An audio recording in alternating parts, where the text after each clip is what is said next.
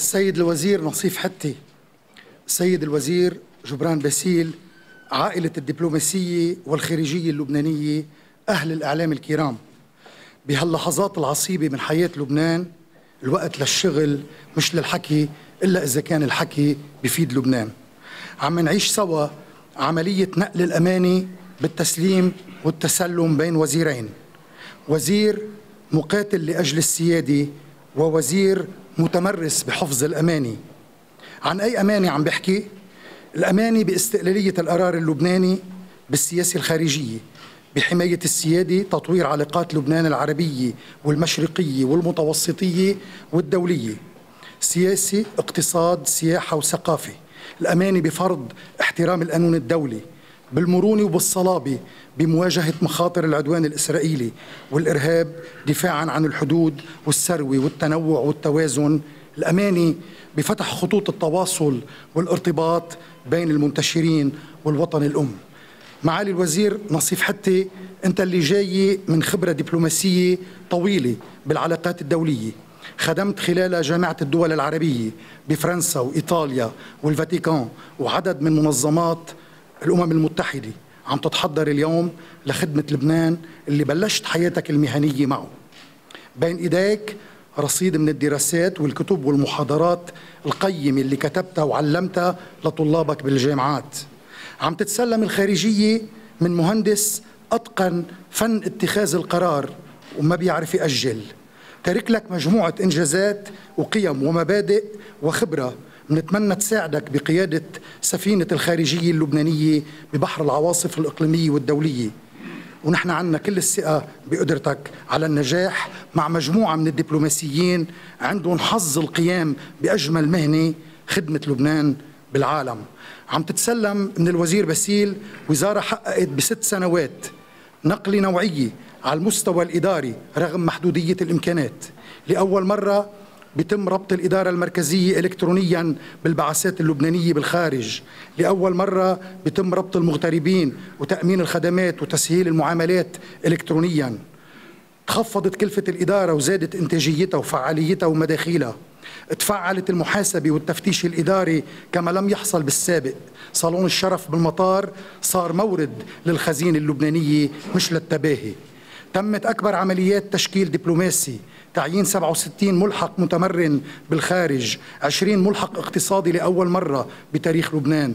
مجموعة مشاريع قوانين تقدم فيها الوزير بسيل لمجلس النواب عبر الحكومة لتحديث وتفعيل وعصرنة وزارة الخارجية. إن شاء الله يتم إقرارها كلها للمغتربين المنتشرين تحققت خطوات جبارة للمرة الأولى المشاركة بالانتخابات النيابية اقتراعا وترشيحا حق استعادة الجنسية لمن فقدها ورسم خارطة طريق لاكتسابها. 97 أنصولية فخرية للبنان حول العالم لخدمة المنتشرين مؤتمرات الطاقة الاغترابية اللي جمعت المنتشرين على أرض بيروت وتنقلت بين بلدان الانتشار بالقارات الخمس. مشاريع على اسم المغتربين بلبنان غابة للمغترب بيت المغترب برامج تعاون بتفيد المغترب وبتفيد لبنان حصول على قروض بفوائد مخفضة. اشتري لبناني استثمر تتبقى. تعرف على الدولة اللبنانية من خلال السياحة السياسية إطلاق الدبلوماسية الاقتصادية وتطوير التعاون مع الجامعات ومؤسسات دعم التصدير. زيارة اللبنانيين المنتشرين ب 102 من دول العالم. بالدبلوماسية الاقتصادية مذكرات تفاهم انخراط بتجمعات اقتصادية دولية إنشاء شبكة غرف تجارية لبنانية أجنبية برامج تسويق وترويج ومعارض للمنتوجات اللبنانية الزراعية والغذائية للمطبخ اللبناني للموني وخصوصا للنبيد اللبناني. بالتعاون الدولي بيروت من جديد مقر إقليمي لمنظمات مثل الفاو والفرنكوفونية. إنشاء وحدة التعاون الدولي بالوزارة لرصد فرص التعاون. أول مبادرة للتعاون المتوسطي انطلقت من بيروت. جمعت لبنان وقبرص واليونان لتعزيز التبادل السياحي والثقافي والاقتصادي. بطول الكلام عن وزارة الخارجية ولكن بيبقى جوهر الكلام هو سياسة لبنان الخارجية. الكلام لك السيد الوزير جبران باسيل اللي خليت بالفعل مش بالحكي حدودنا العالم.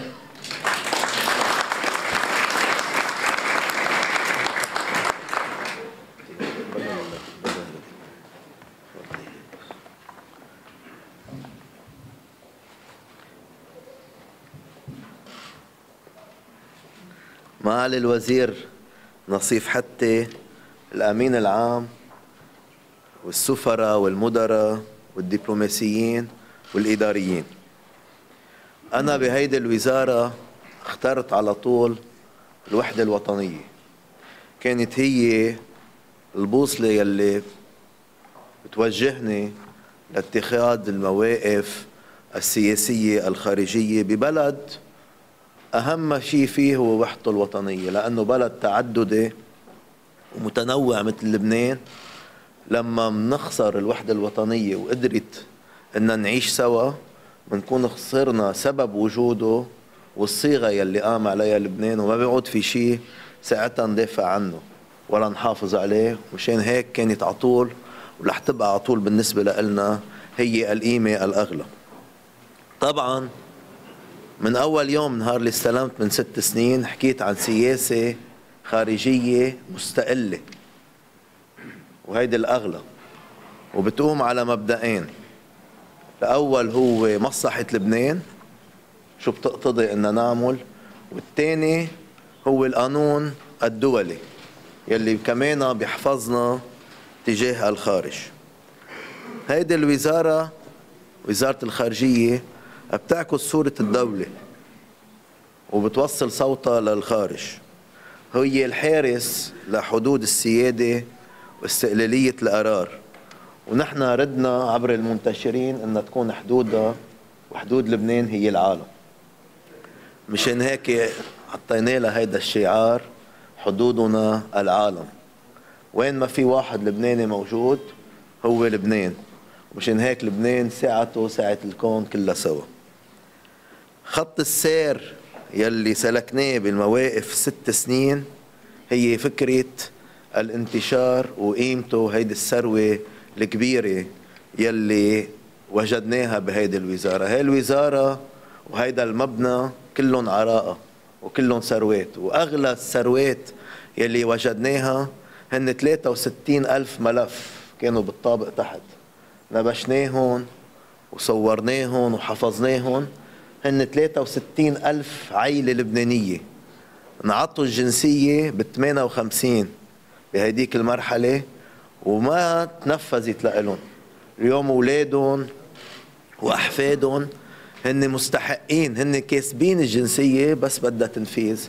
وبدأنا بهيدا العمل مع المدير العام الجديد جوزيف نصير يلي بنتمنى إنه تتوفر له كل الإمكانيات مع فريق عمل ليقدر يعطي الجنسية اللبنانية للبنانيين المستحقين لها هيدي الثروات وهيدي القيمة الوطنية الكبيرة هي يلي خلتنا ناخد المواقف الوطنية دفاعا عن لبنان. مشان هيك بوجه إسرائيل رفعت الصوت نددت باحتلالها وبعنصريتها وقاومت عدوانها وعندي ملء الثقة إنه هالخط هيدا بكمل مع الوزير حتى بوجه العالم رفعت الصوت لإعادة النازحين السوريين. رفضا لكل السياسات الهادفة لاندماجهم ولتوطينهم بلبنان. استمرارا لمسلسل توطين اللاجئين الفلسطينيين بلبنان الشيء اللي بيقضي كمان على صيغة لبنان. وعلى تنوعه وعلى ميزته الأساسية. وبتأمل أنه الحكومة الجديدة تقدر تعمل الشيء اللي ما قدرنا نعمله نحن بوضع سياسة وطنية جديدة لعودة النازحين إلى بلدهم. وزارة الخارجية أردناها على مدى طموح اللبنانيين المنتشرين مشان هيك نضلنا لحققنا لهم قانون استعادة الجنسية. ولتنفيذ معاملات اختيار الجنسية. ولوضع آلية جديدة لمرسوم التجنيس. ولكل المعاملات الأحوال الشخصية تسريعها وتسهيلها. وكمان حصلنا لهم لأول مرة على حقهم بالمشاركة بالانتخابات النيابية ترشيحا واقتراعا وقدمنا مشروع قانون تعديل لهالآلية هيدي لتسهيلها لزيادة الأعداد اللبنانيين يلي بيشاركوا.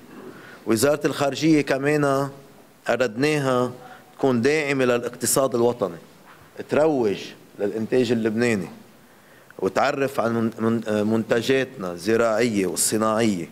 ومشان هيك عينا 20 ملحق اقتصادي هن من خيرة شبابنا وشاباتنا. اليوم انتشروا ب 20 دولة بالعالم وإن شاء الله بيعملوا نقلة نوعية بزيادة صادراتنا وتوزيع منتوجاتنا للعالم. سياسة لبنان الخارجية أردناها سياسة التوازن والاتزان ولكن رسمناها بالموقف الواضح يلي ما بيعرف لا الرمادية ولا الميوع. التزمنا الدفاع عن القضية الفلسطينية بكل محفل وحفزنا العرب بكل مؤتمر ليرفعوا الصوت معنا رفضا لتهويد القدس ولضم الجولان ولبناء المستوطنات. كنت ولا زلت مع السلام العادل والشامل والدائم على أساس المبادرة العربية يلي انطلقت من بيروت وأقرت بقمة بيروت تحت عنوان الأرض مقابل السلام. فإذا هيدا الموقف المتوازن للسياسة الخارجية اللبنانية هو بيشبه موقع لبنان الجغرافي المرتبط بالمشرق أرضا والمنفتح على الغرب بحرا. قوة لبنان بضعفه شعار عشنا معه فترة طويلة التبعية للخارج.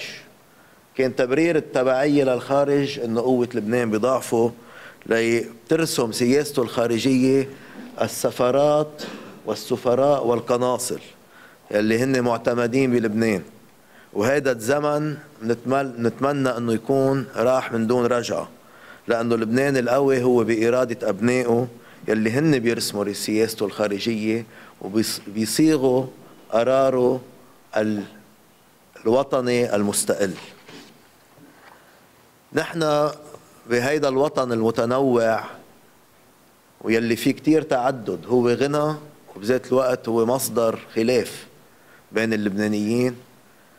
عممنا فكرة اللبنانية اللبنتي يلي سوقنا لها بكل مؤتمرات الطاقة الاغترابية ال دي اي 16 ستة بلبنان و10 برا. وعممنا هيدا المفهوم لأنه هو بيوحدنا. بعز تنوعنا هو بيجمعنا لأنه هو مفهوم وطني أعلى من أي انتماء طائفي أو مذهبي أو عائلة أو سياسي أو مناطقي أو حتى عشائري.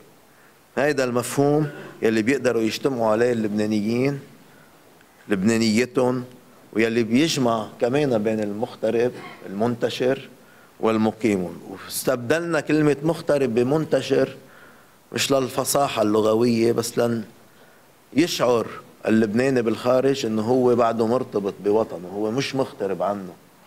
وبعرف ارتباطه فيه متعلق بعوامل كثيرة حاولنا نأمن قسم منها مثل الجنسية والانتخاب تأمين حوافز لإلهم. وكنا عم نشتغل لإقرار وقدمنا مشروع القانون للمجلس الوطني للانتشار.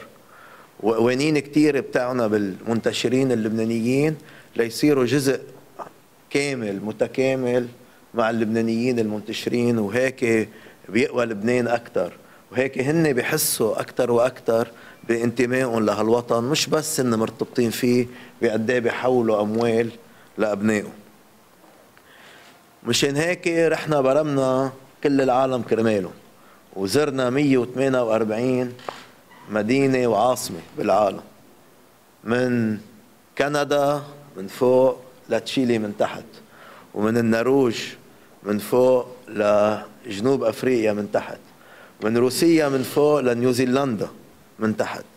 وكل الجزر يلي موجودين عليها كنا أوقات نسافر لنلتقى نلتقى مع بضعة لبنانيين لأنه أدركنا قد إيه قيمتهم كبيرة وقد إيه هن ثروة وطنية حقيقية. وأنا بعتذر من كل لبناني ما قدرت رحت لعنده. وبعرف إنه ما قدرنا زرنا دول بأفريقيا. الظروف أوقات ما سمحت. كتير رحلات لغيناها. ما قدرنا زرنا دول بأمريكا الوسطى ببعض الجزر. ما قدرنا زرنا ولايات بالولايات المتحدة الأمريكية. قد ما فينا كنا كل مرة نغطي مدينة نحس إنه شلنا حمل عنا وصفينا ضميرنا شوي. بس نرجع ننتبه قد إيه بعد في على ضميرنا إنه في لبنانيين ما حدا زارهم. مش بس رئيس أو وزير ما زارهم سفير أو قنصل هودي بيستاهلوا منا زيارة. إن شاء الله الوزير حتى كمان بنعرف قد إيه اهتمامه ومحبته للبنانيين برا يقدر يكفي بهالزيارات وبهالمشاوير. تعرفنا على هالمنتشرين وقابلناهم وسمعنا مطالبهم وهمومهم وسمعنا صرختهم على طول قد إيه يحسوا أوقات لبنان بعيد عنهم. ولكن هن بالرغم من كل هالشيء كتبوا قصص نجاح. وحملوا لبنان بقلبهم. وكنا على طول بس نعطي حدا منهم الجنسية نشوف الدمعة. اللبناني يلي ما بيعرف عربي يلي ما بيعرف وين بيته كان أغلى شيء عنده أنه يحصل على جنسيته اللبنانية. طينا بضع مئات بس بقول بعد فيه ميات الألوف من اللبنانيين. يلي بده يضل على ضميرنا ان نوصل لهم ونعطيهم حقهم وجنسيتهم تنكبر فيهم. هودي هن سفراء لبنان بالخارج.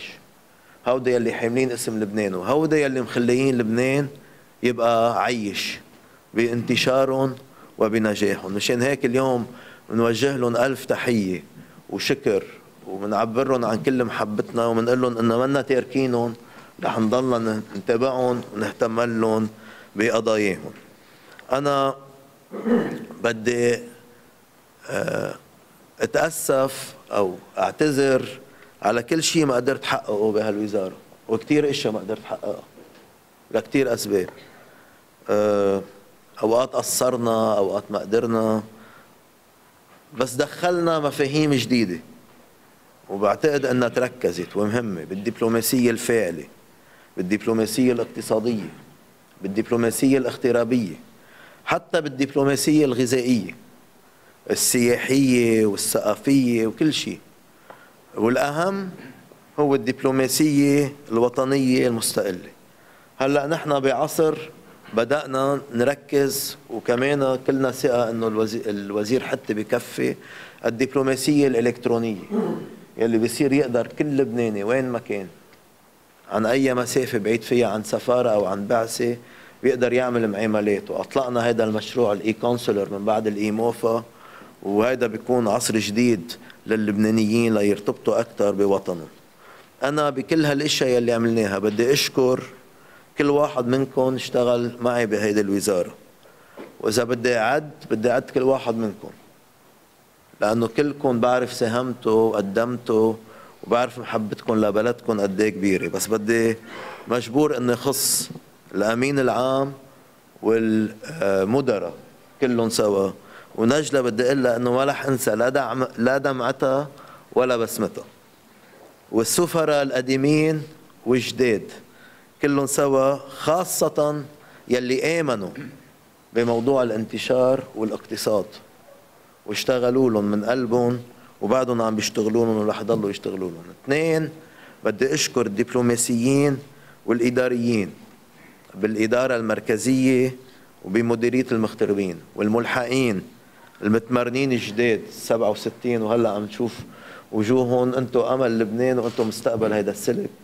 وبتفتخروا كيف نجحتوا بكفاءتكم من دون واسطة ومداخلة.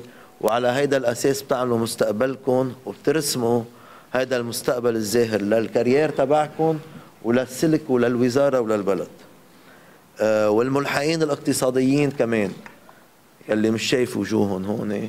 ولكن لهم كلمتنا وين ما كانوا موجودين من آه من الصين لأستراليا ولكل عاصمة هن موجودين فيها.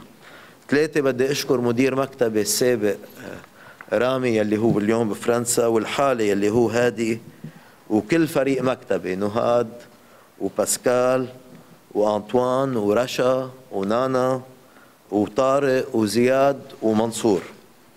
بدي أشكر فريق ال دي اي عماد وجورج ولينا ونورا وباسكال وإليت ترك وكل مين ساعد. بدي أشكر المستشارين والمساعدين والمدراء جيهان وكارمن والقاضي أزي جون أزي والمدير جوزيف نصير. بدي أشكر كمان الإعلاميين بالوزارة نوال وماي وتيريز ونتالي وثريا وخليل لياس شبلي بعرف وينه لياس وبدي أشكر الأمن يلي بالوزارة يلي مولج بأمن بال الشباب والعسكر يلي كانوا يسهروا معنا بالليل وينطرونا الصبح والسائقين تبع الوزارة يلي بينقلوا لنا البريد وبيهتموا بأمورنا لما بنكون مستعجلين. وبدي أشكر الملحقين بمكتبي سونيا. وأنا سونيا رجعت اليوم ومونيك القديم والجديد يعني. آه وشربل وربيع والحج يوسف ولارا وجورج كفوري. وبدي أشكرهم على كل ورقة جابوا لنا إياها وعلى كل كباية مي شربونا إياها. أنا بترك اليوم الوزارة بمحبة لكم كلكم وباعتزاز. أنتم الأعلم إنه بهيدي الوزارة ما كان في فساد. أو ما سمحنا يكون في فساد. وما تسجل فساد على اسمنا. قد ما فينا مسكتنا عن أي خطأ. قدرنا عرفنا فيه أو شفناه. ارتكبوا سفير برا وأخذنا بحقه إجراءات. أو ارتكبوا موظف جوا وأخذنا كمان بحقه إجراءات. وقفنا كل إجراءات استنسابية أو منفعيه ولا جربنا نستفيد بشيء بالسياسة. وقفنا إعطاء الباسبورات الرسمية باسبور دبلوماسي وباسبور خدمة وباسبور خاص إلا يلي مستحقه بحسب المرسوم. وقفنا استعمال صالون الشرف إلا ما يكون فيه دفع بدل للدولة اللبنانية. وما عينا 140 قنصل فخري جديد. وانشأنا 97 قنصلية فخرية جديدة. وبعد لازم يكون في كتير. وكلكم بتعرفوا إنه العادة القديمة والتسعيرة للقنصل الفخري وقفت. ما في حدا دفع قرش ليعمل قنصل فخري. نحن ركضنا ورا الناس تنقي مين الأحسنهم يلي بجالياته بيقدر يكون فاعل ويمثل الدولة اللبنانية ويشتغل فيها. مشان هيك أنا اليوم بترك هالوزارة بكل راحة ضمير وبقول لكم إنه رح نضلنا نتابعكم. مثل ما تركنا مواقع تانية وضلينا متابعيننا بحكم موقعنا ومسؤوليتنا تجاه الناس وتجاه الدولة. رح نضلنا متابعينكم ورح نضلنا سندكم ورح نضلنا نساعد هالسلك هيدا تيقدر يمثل لبنان أحسن تمثيل. وأنا واثق إني سلمت الأمانة للشخص المناسب يلي رح يقدر يعمل أحسن مني. ورح يقدر يعطي الوقت والجهد اللازم يكفي هالمسيرة هيدي وليكون عنده مصلحة لبنان هي فوق أي مصلحة تانية وفوق أي اعتبار تاني. إذا شيء بدي أطلبه منكم اليوم أنه يبقى لبنان بمزارعيه بصناعيه باقتصاديه يبقى بفكركم وبعقلكم تتساعدون ويبقوا المنتشرين بقلبكم تتحبون وهيك بيبقى لبنان بوحدته الوطنية بفكركم وبقلبكم. هذا الشيء اللي بنوصيكم فيه وبنتمناه ونضل نحن وياكم نشتغل لإله. تنضلنا كلنا سوا حاملين لبنان بعقلنا وبفكرنا وبقلبنا. وبتبقى الوحدة الوطنية أغلى شيء عنا. بتشكركم ويعطيكم ألف عافية. عشتوا عشتوا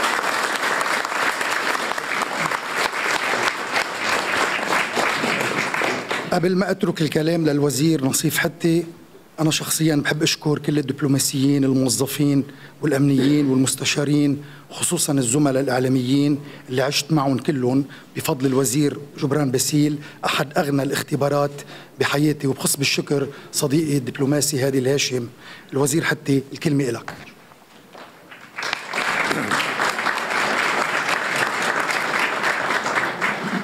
معالي الوزير. سعادة الأمين العام أصحاب السعادة السفراء الأخوات والإخوة أعضاء السلك الدبلوماسي والسلك الإداري. معالي الوزير أود أن أشكركم بداية على كلماتكم الغنية والطيبة تجاهي. وأود أن أعبر عن تقديري لما قمتم به على رأس وزارة الخارجية التي سأتشرف اليوم بتولي مسؤوليتها في مرحلة ولا أذيع سرا مليئة بالتحديات الجديدة والمتجددة على الصعيد الوطني. مرحلة تتسم أيضا بالحروب المختلفة بمصادرها والمتداخلة بتطورها والمترابطة بمسارها على الصعيد الإقليمي. قدر لبنان بسبب جغرافيته السياسية بشكل خاص أنه كان دائما الأكثر تأثرا بصراعات المنطقة. وعلينا أن ننجح يوما وهذا تحدي أمامنا. في الإسهام إلى جانب دول أخرى بدور الإطفائي للحرائق المشتعلة والمنتشرة وذلك حماية للأمن الوطني وبغية تعزيز أمننا الوطني. القوى اللينة ال soft power التي يملكها لبنان والتي نعتز بها واعتز بها دائما من تجربتي في الخارج لما رأيته من لبنانيات ولبنانيين وما حققوه والتي علينا العمل على استنهاضها وتعزيزها. إنها قوة الغنى الثقافي والتنوع الفكري والتعليم النوعي ومناخ الحريات وأشدد على مناخ الحريات وروح المبادرة. كلها عناصر جعلت من هذا البلد الكبير جسر تواصل وحوار وتفاعل بين أسرته العربية من جهة والعالم من جهة أخرى. ونريد أن نعمل على استنهاض هذا الدور وتعزيزه. وقد يقول البعض أنه ليس من الأمر السهل تحقيق ذلك ولكنه قطعا ليس امرا مستحيلا بل ممكنا وضروريا. معالي الوزير إن الدول الصغيرة تحتاج دائما لسياسة خارجية ناشطة ولأن تكون موجودة بقوة في كافة المحافل الدولية والإقليمية إذ يوفر ذلك الوجود الفاعل شبكة آمان وضمان على الصعيدين الإقليمي والدولي نظرا لأهمية هذا الدور الناشط والبناء والمنخرط في القضايا التي تهم العالم أجمع. بحيث يصبح دور لبنان ضرورة ضرورة إقليمية ودولية. أمام المخاطر والتحديات التي نعيشها اليوم علينا القيام بتحرك ناشط نحو عواصم القوى الكبرى والدول العربية الشقيقة والدول الصديقة وكذلك مع المنظمات والهيئات الدولية والإقليمية المعنية. بغية العمل على توفير كافة أوجه الدعم للبنان. فاستقرار لبنان ضرورة إقليمية ودولية أيضا. كما أن علينا التأكيد من خلال عملنا على الدور الأساسي للثروة الاغترابية لأبنائنا أبناء الانتشار كجسر تواصل بين لبنان والمجتمعات المعنية وكمصدر أساسي وخاصة الآن للاستثمار في القطاعات الاقتصادية المنتجة وأيضا كمصدر لتوفير كافة أوجه الدعم النوعي في المجالات الاقتصادية والاجتماعية القائمة من قبل أبناء الجاليات اللبنانية كل في مجال اهتمامه واختصاصه. نحن اليوم نتطلع إلى تفعيل دور الدبلوماسية العامة. بأوجهها المتعددة التي تتجه إلى صناع الرأي والقرار في المجتمعات المختلفة لبناء وتعزيز جسور التواصل والتعاون بين لبنان وهذه المجتمعات. إن هذا الأمر سيبقى في طليعة مهامنا بالتعاون مع أهل الاختصاص والخبرة في لبنان وفي بلدان الانتشار. إن هذه الدبلوماسية في صيغ وأشكال مختلفة تساهم في دعم وتعزيز دور الدبلوماسية الرسمية للبنان لا بل تكمل دور دبلوماسيتنا الرسمية. معالي الوزير الإخوة والأخوات وأنا اليوم صرت ابن هذه العائلة التي أعتز بالانتماء إليها. أود أن أخاطبكم من هذا الموقع وأقول لكم أننا سنعمل كفريق عمل واحد كل من موقعه ودوره عند رب عمل واحد هو لبنان. عشتم وعاش لبنان.